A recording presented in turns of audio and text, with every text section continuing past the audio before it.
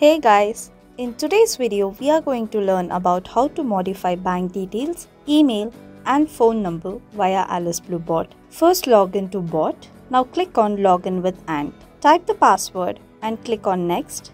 Now enter the 2FA code and click on login. Now enter the OTP that is sent to your registered mobile number.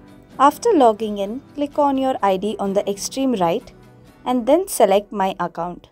In the personal category, you can modify your email address and phone number. In order to modify your bank details, go to this category and make the necessary changes to your bank details like IFSC code, etc. here.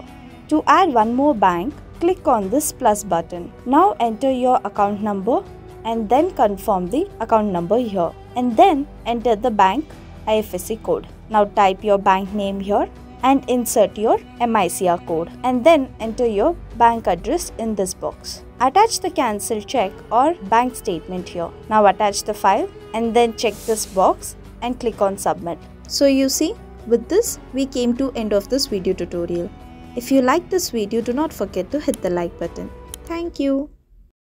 Investment in securities markets are subject to market risks. Read all the related documents carefully before investing.